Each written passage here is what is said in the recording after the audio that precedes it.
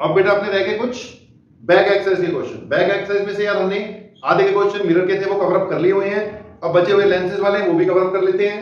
तो यार एक एक करके देखो, थोड़ा fast which of the following materials can not be use to make a lens okay या लेंस बनाने के लिए कौन सा मटेरियल यूज़ नहीं किया जा सकता? ट्रांसपेरेंट मटेरियल जितने भी हैं they can be use to make a lens वैसे तो ग्लास ही होता है, लेकिन यार जिसमें से लाइट पास करते हैं कि वो हो सकते हैं तो इनमें से which one of the material can not be use to make a lens अब इनमें से एक ही रहे हैं तो यही होगा, ये नहीं यूज़ किया जा सकता। वाटर ट्रांसपेरेंट है उसमें लाइट पास हो जाएगी, उसका फिर भी कुछ ना कोई लेंस बन जाएगा। ग्लास का तो चलो बनता ही है। प्लास्टिक को भी ट्रांसपेरेंट रखा जा सकता है, उसमें से भी लाइट पास हो ही जाएगी तो उससे भी लेंस बनाया जा सकता है। क्ले में से तो बिल्कुल नहीं पास होनी तो इसमें से इन तीनों में से बन सकता है, इसमें से नहीं बन सकता। वैसे तीन पे मैंने टिक लगा दिया, इस पे क्रॉस लगा दिया। आंसर इसका क्या आने वाला है? डी आने वाला है बिकॉज़ उसने क्या बोला था, जिसमें से नहीं बन सकता which can not be use to make a lens तो सिंपल क्वेश्चन को दिक्कत वाली बात नहीं है, हो ही गया, अगले सवाल पे चलते हैं। अगला सवाल कह रहा है जी where should an object be place in front of a convex lens कौन सा लेंस है? कन्वेक्स लेंस तो where an object should be place in front of a convex lens to get a real image कैसी image बनानी भैया? Real image of the side of the object अभी थोड़ी देर पहले मैंने थे। Real image of the side of the object मेरे ख्याल से उसने बोला होगा same side of the object यहाँ से सेम मिसिंग है। Where should an object be placed in front of a convex lens to obtain a real image of the same side of the object होना चाहिए। Same side की बनानी है real भी बनानी है तो ट्वाइस ऑफ़ फोकल लेंथ पे पड़ा होना चाहिए। तो इसमें देखते हैं at twice of the focal length अगर यहाँ पे वही है कि image of the same side of the object तो when as object is placed in front of a computer to get a real image of the size of the object ये भी ज़रूर सेंटेंस सही है ऑफ़ द साइज़ मतलब size of the object और size of the image क्या होना चाहिए? सेम होना चाहिए। तो यार 2f पे पड़ा होना चाहिए twice of the focal length आपको पता ही है, कोई दिक्कत वाली बात नहीं है। एट 2f वाला इसका आंसर आ जाना चाहिए था। Sixth question which of the following lenses would you prefer to use while reading small letter okay अगर आपने स्मॉल लेटर्स रीड करनी हैं मतलब बड़ा करके देखना है तो आपको उसको क्या करना पड़ेगा? मैग्नीफाई करना पड़ेगा। तो भैया कनकेव तो भूल कर भी नहीं लगाना, क्योंकि कनकेव ने मैग्नीफाई करना ही नहीं होता। वो तो हमेशा कैसी इमेज बनाता है? छोटी इमेज ही बनाता है तो कनकेव ने तो मैग्नीफाई करना ही नहीं होता। इसलिए कनकेव तो लगेगा ही नहीं, कौन सा लगना चाहिए? कन्वेक्स लेंस ही लगना चाहिए। तो which of the following lenses would you prefer to use while reading small letters found in a dictionary okay तो पहली बात कनकेव वाला तो छोड़ दो, ठीक है? कन्वेक्स लेंस कनकेव लेंस छोड़ दो। अब बच के दो। जितनी ज़्यादा बेटा पावर ज़्यादा होगी, जितनी लेंस की पावर ज़्यादा होगी, उतना ही वो ज़्यादा बड़ा कर कर दिखाएगा। तो ज़्यादा पावर का यूज़ करो, अब क्योंकि अपने पास ऑप्शन में दो तो कन्वेक्स लेंस है, एक की फोकल लेंथ 50 दे रखी है, और दूसरे की फोकल लेंथ कितनी दे रखी कन्वेक्स लेंस और focal length 5 okay we need to magnify छोटे छोटे होते हैं डिक्शनरी में, उनको बड़ा करके देखना है। तो बड़ा करने के लिए ज़्यादा मैग्निफिकेशन चाहिए, ज़्यादा मैग्निफिकेशन के लिए ज़्यादा पावर का लेंस चाहिए।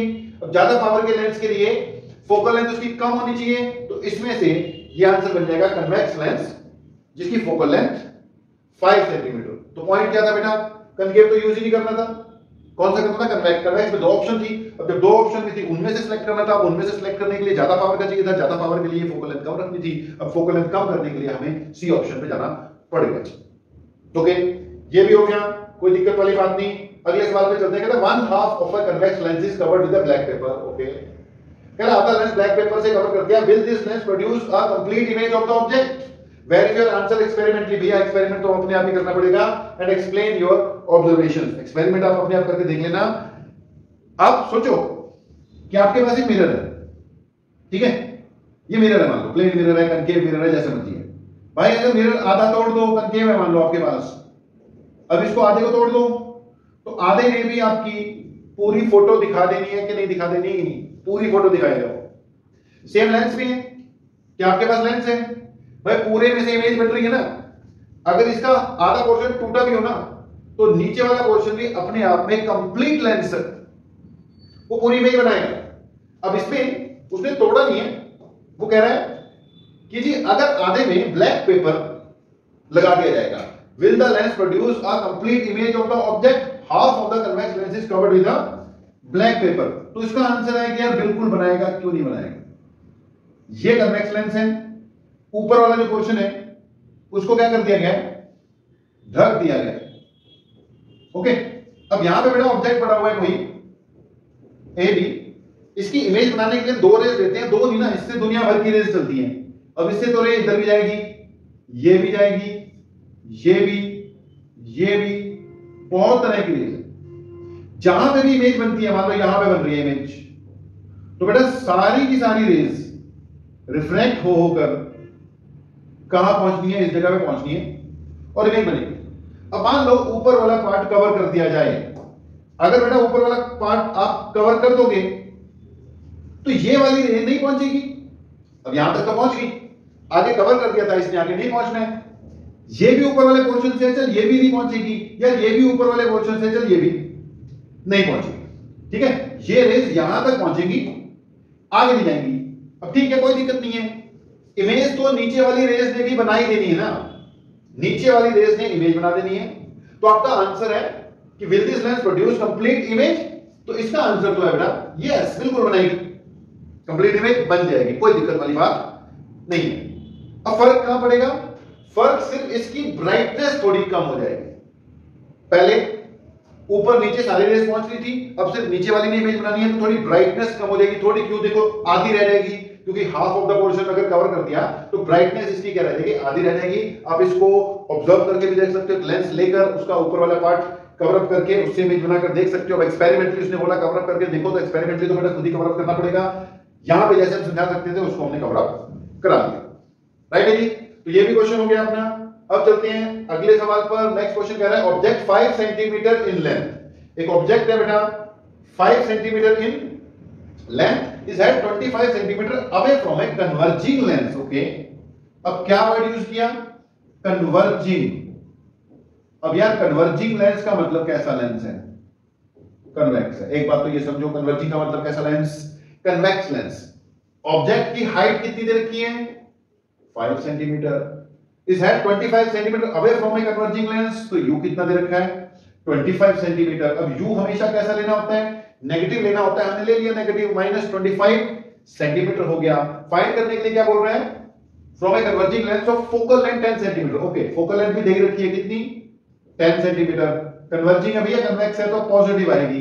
Draw a ray diagram and find the position size and nature क्या फाइंड करना है? पोजीशन साइज़ एंड नेचर और साथ में क्या करना है? रे डायग्राम भी ड्रॉ करना है ओके देखो जी, u कितना है? Minus twenty five focal length कितनी है? टेन तो बेटा, अगर फोकल लेंथ टेन है तो टू एफ़ कितना आएगा? ट्वेंटी रखा कहा हुआ है? ट्वेंटी फाइव पे। तो सीधी सी बात है, कहाँ पड़ा हुआ बियॉन्ड टू एफ़ पड़ा हुआ है। अगर बियॉन्ड टू एफ़ पड़ा है तो इसका मतलब नेचर तो कैसा हो गया? रियल बनाएगा। ठीक है? बियॉन्ड टू एफ़ में रियल बननी थी। इन्वर्टेड बननी है नेचर नेचर लिख देते हैं यहीं पर। ओके रियल इन्वर्टेड डीमिनिश बनेगी। And between F and two F beyond two F है ना बेटा? तो याद होगा between F and two F बननी चाहिए। तो बनाते इसका रेड डायग्राम कोई दिक्कत वाली बात नहीं है। उसने तो बोला, क्या बना के दिखाओ? रेड डायग्राम बना के दिखाओ। तो ये क्या हो गया जी आपका? कन्वेक्स लेंस थोड़ा मार्किंग कर लेनी पड़ेगी। ओके ये क्या हो गया जी आपका? ऑप्टिकल सेंटर ये हो गया फोकस फोकस कितना दे रखा है? 10 सेंटीमीटर आपने यहाँ पे 10 लिख दिया। ओके ये क्या हो गया जी? 2f ये कहाँ पर है? 20 सेंटीमीटर रखना कहाँ पे इसको? 25 पे रखना। था तो ये हो गया जी आपका ऑब्जेक्ट ए बी कहाँ पड़ा हुआ है? 25 सेंटीमीटर ये 20 है और ये जो पॉइंट है कहाँ पे पड़ा हुआ है? 25 राइट जी? अब इसमें से यहाँ पे फिर भी 10 सेंटीमीटर पे एफ़ होगा। एक रे कैसे जानी है? पैरेलल पैरेलल कहाँ से? फोकस से। दूसरी कहाँ से? सी से भेजते होते हैं। वो यहाँ चल जाएगी। इमेज कुछ यहाँ बन जाएगी। यहाँ पे कहीं पे क्या हो जाएगा इसका? 2f हो जाएगा 20 सेंटीमीटर तो कुछ इस टाइप का बेटा स्केल से बनाओगे, बढ़िया बनेगा। कुछ इस टाइप का आपका क्या बनेगा यहाँ पर? रे डायग्राम बनेगा। Okay draw the ray diagram and find the position size and nature position size and nature exactly निकालने के लिए तो फिर देखो इसको सॉल्व ही करना पड़ेगा जी। तो थोड़ा सा इसको क्या कर देते हैं? सॉल्व कर ही देते हैं। तो सॉल्व हमने किया तो क्या यूज़ करूँगा? Again one by U minus plus one by V किसके इक्वल बेटा? वन बाय एफ़ के। ओके तो ये बन जाएगा one by V is equal to one by F ये उधर जाके क्या होने वाला है? प्लस होने वाला है। One by V is equal to one by F F कितना दे रखा है? प्लस टेन है और u तो कैसा लेना होता है फिर? नेगेटिव लेना होता है। माइनस ट्वेंटी फाइव हो गया। एलसीएम ले लो फिफ्टी बन रहे हैं यार। तो one by V is equal to LCM क्या रख लिया आपने? फिफ्टी रख लेते हैं। तो टेन फाइव माइनस ठीक है जी? ट्वेंटी फाइव टू जब ठीक है जी? ये बन जाएगा आपका वन बाय वी किसके इक्वल फाइव माइनस टू कितना हो गया जी? थ्री बाय फिफ्टी वी किसके इक्वल आ गया? Fifty divided by three okay fifty divided by f and two f के बीच में बननी चाहिए थी। तो फिफ्टी डिवाइडेड बाय थ्री अगर मैं करता हूँ तो थ्री बन जा थ्री ट्वेंटी बच जाएगा सिक्स जा प्लस फिर ट्वेंटी बचेगा sixteen point six six centimetre आना चाहिए तो एफ़ एंड टू एफ़ के बीच में है ना देखो, ये दस है, ये बीस है, और कहाँ बन रही है? सिक्सटीन पॉइंट सिक्स सिक्स पे बन रही है तो सही जा रहे हैं हम। ये आ गई आपकी exactly v r okay h one भी दे रखा था बेटा। तो मैग्निफिकेशन किसके इक्वल होती है? H two by h one जो कि किसके इक्वल होती है? वी बाय यू तो बेटा एच टू किसके इक्वल आना चाहिए? V by u into h one h two किसके इक्वल आ गया? वी वी है बेटा आपका sixteen point six six okay u किसके इक्वल है? Minus twenty five okay h one किसके इक्वल है? फाइव के इक्वल है। ये कट जाएगा फाइव हो जाएगा तो h two will be equal to sixteen point six six divided by five it will be sixteen point six six divided by five तो इसको कैलकुलेट करके देख लेते हैं एग्जैक्टली कितना आ जाएगा it will be sixteen point six six divided by five sixteen point six six divided by five तो सिक्सटीन क्या हो गया? Sixteen point six six divided by five तो यह आ जाएगा three point three three two तो answer will be three point three three अब बेटा आते हैं नेक्स्ट क्वेश्चन पे। नेक्स्ट क्वेश्चन आपका स्क्रीन पे आ ही रहा है। क्वेश्चन नंबर इलेवन पढ़ो जी इसको ध्यान से। कह रहा concave lens of focal length 15 centimetre lens कैसा भैया? कनकेव साफ़ साफ़ बोला हुआ है लेंस कैसा? कनकेव फोकल लेंथ कितनी बेटा जी? 15 सेंटीमीटर तो कनकेव लेंस है। फोकल लेंथ कितनी है? 15 तो मैं क्या लूँगा minus fifteen centimetre okay forms an image 10 centimetre from the lens image बना रहा है 10 सेंटीमीटर पे। यानी गिवन क्या है आपको? वी गिवन है वी गिवन है। How far the object is place from the lens क्या मांग लिया उसने? यू मांग लिया। How far the object is place यानी we have to find the value of u और डायग्राम भी बनाना है। अब बेटा इसमें एक पॉइंट है कनकेव है। तो कनकेव की फोकल लेंथ कैसी होती है? नेगेटिव होती है, हमने नेगेटिव ले ली। तो सबसे खास बात, जो कनकेव बनाता है ना यार वर्चुअल इमेज बनाता है। अगर वर्चुअल इमेज बनेगी तो उसके उसी साइड पे बनेगी। तो हमें v क्या लेना चाहिए था? नेगेटिव कनकेव या लेंसेज जब वर्चुअल इमेज बनाते हैं, बेटा सेम साइड पे बनती है तो उसके v क्या होते हैं? नेगेटिव होते हैं। लेंसेज के केस में अगर रियल इमेज बनी है तो v कैसे होती है? पॉजिटिव होती है। तो f माइनस फिफ्टीन वी किसके इक्वल बेटा? माइनस टेन सेंटीमीटर के इक्वल ओके u हमें क्या करना है? कैलकुलेट करना है। कोई दिक्कत वाली बात नहीं है। सिंपल सा क्वेश्चन है। One by u plus one by v किसके इक्वल कर देंगे यार वन बाय एफ़ के इक्वल कर देंगे। ये माइनस वन बाय यू होता है। ओके यू कैलकुलेट करना है। तो यू तो यू ही कैलकुलेट हो जाएगा, ये बन जाएगा वन बाय एफ़, ये उधर चल जाएगा minus one by v, minus one by u plus one by ठीक ही जा रहे हैं मेरे ख्याल से हम? Minus one by u, okay? Equal to one by f minus one by v. V किसके इक्वल दे रखा था? माइनस दस। और एफ़ भी मेरे ख्याल से दे रखी है कितनी? माइनस पंद्रह। माइनस माइनस क्या हो जाएगा? प्लस हो जाएगा, एलसीएम इसका कितना आ जाएगा? थर्टी आ जाएगा। तो माइनस वन बाय यू किसके इक्वल आ गया जी? एलसीएम मैं ले रहा हूँ थर्टी ये आ जाएगा fifteen into two fifteen two thirty minus two बचना है। उधर से टेन थ्री जा ओके ये माइनस वन बाय यू किसके इक्वल आ जाएगा? One by thirty you can solve it to find u is equal to minus thirty okay तो यू किसके इक्वल आ गया? माइनस थर्टी के इक्वल माइनस थर्टी के मतलब इमेज कहाँ पे बनी? सॉरी ऑब्जेक्ट कहाँ पे पड़ा हुआ है? लेंस से 30 मीटर की दूरी 30 सेंटीमीटर की दूरी पर पड़ा हुआ है, क्योंकि सेंटीमीटर तो ये भी किसमें आएगा सेंटीमीटर आएगा। एक चीज़ और बोल रहा है ड्रॉ द रे डायग्राम वो भी बना देते हैं, कोई दिक्कत वाली बात नहीं है। लेंस कौन सा था? कंकेव बन गया कंकेव ये क्या हो गया इसका प्रिंसिपल एक्सिस यहाँ पे इसकी फोकल लेंथ कितनी ले लेते हैं हम? 15 तो ये 15 है। ऑब्जेक्ट कहाँ पे पड़ा हुआ? आ गया बेटा 30 पर। तो ऑब्जेक्ट यहाँ पर होना चाहिए था ए बी ठीक है जी? इमेज बनाने के लिए हमें चाहिए कम से कम दो रेज ये यहाँ से पैरेलल और पैरेलल कुछ ऐसे डाइवर्ज होगी कनकेव है डाइवर्जिंग होता है कि कहाँ से पास होती हुई नज़र आएगी फोकस से। और दूसरी रे कहाँ भेजते होते हैं हम? सी से। सी वाली सीधा निकल जाएगी, यहाँ मिल जाएँगी। ये क्या हो जाएगी? तुम्हारी इमेज हो जाएगी। तो ये A dash B dash image है, जो बन रही है डायग्राम भी बन गया। कैसी है ये? Virtual erect diminished. Between f and two f भैया सब याद है तुम लोगों को sorry between f and two f नहीं, मुझे नहीं याद, तुम्हें याद है. बिटवीन क्या आता होता है ये? सी एंड एफ़ बेटा, ये सी है, ये एफ़ है. तो ये आना चाहिए था between c and f okay तो सिंपल बातें हैं, बहुत ही सिंपल चल रहा है. कर लेना जी, अगली बात.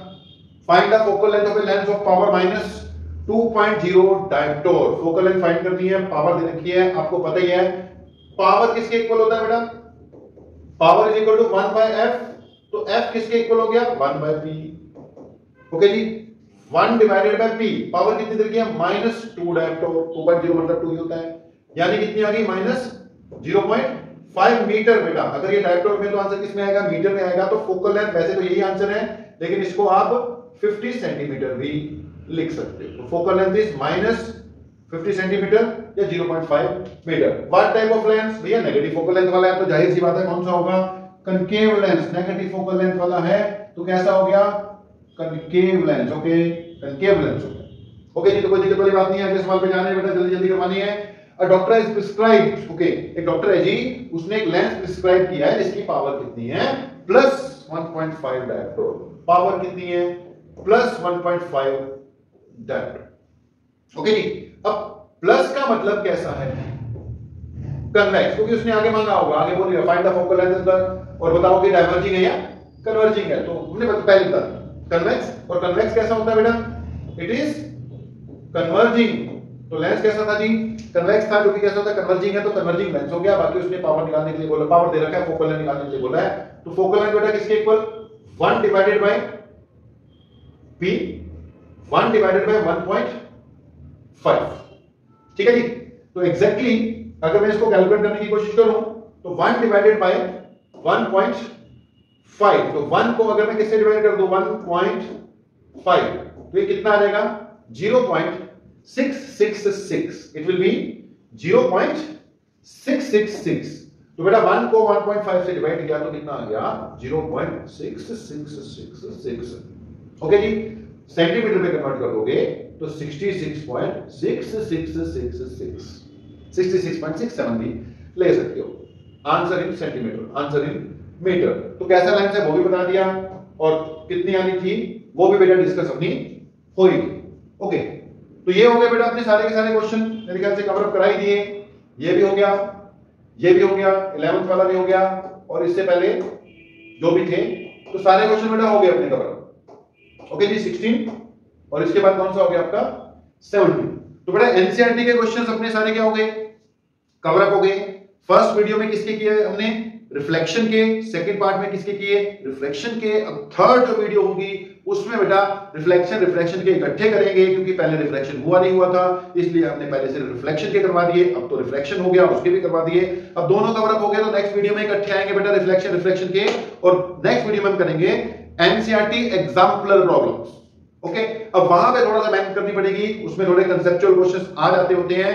एनसीईआरटी एग्जाम्पलर जिसमें सिर्फ़ क्या है, आपके क्वेश्चन ही क्वेश्चन है। तो नेक्स्ट लाइट के हम एनसीईआरटी एग्जाम्पलर करने वाले हैं। राइट ठीक तो एक पॉइंट बेटा बार बार पहले भी कह चुका हूँ, फिर से बोल देता हूँ कि अगर आपको बोर्ड एग्ज़ाम में बढ़िया नंबर लेकर आने हैं तो आपको एक ही बुक पे विश्वास करना पड़ेगा। कौन सी पे? एनसीईआरटी टेंथ हो या ट्वेल्थ हो? कौन सी बुक करनी है?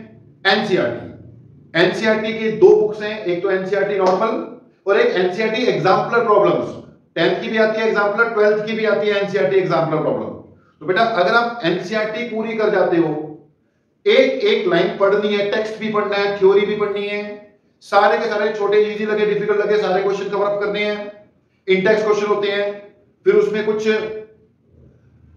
सॉल्व एग्जांपल्स होते हैं ठीक है जी? उसके बाद बैक एक्सरसाइज करनी है और सबसे इंपॉर्टेंट फिर आपने एनसीआरटी एग्जाम्पलर पक्का करनी। है तो अगर आपने बेटा टेंथ के बच्चे हो ट्वेल्थ के बच्चे हो, अगर आपने एनसीईआरटी एग्जाम्पलर प्लस एनसीईआरटी पूरी कंप्लीट कर ली तो समझ लो आपको जन्नत मिलने वाली है। इसी में से पेपर आएगा और कहीं से पेपर नहीं आएगा। ठीक है जी? तो अब आपका कवरअप हो गया है। नेक्स्ट वीडियो में टेंथ क्लास के लिए टेंथ की चल रही है भैया तो टेंथ के लिए एनसीईआरटी एग्जाम्पलर के क्वेश्चन लेकर आ रहे हैं। तब तक के लिए बेटा थैंक यू वेरी मच ये क्वेश्चंस कवर अप करके रखो, थोड़े रिवीजन रिवीजन करो, ताकि एग्जाम्पलर क्वेश्चन बढ़िया तरीके से हो जाए। Okay bye tata thank you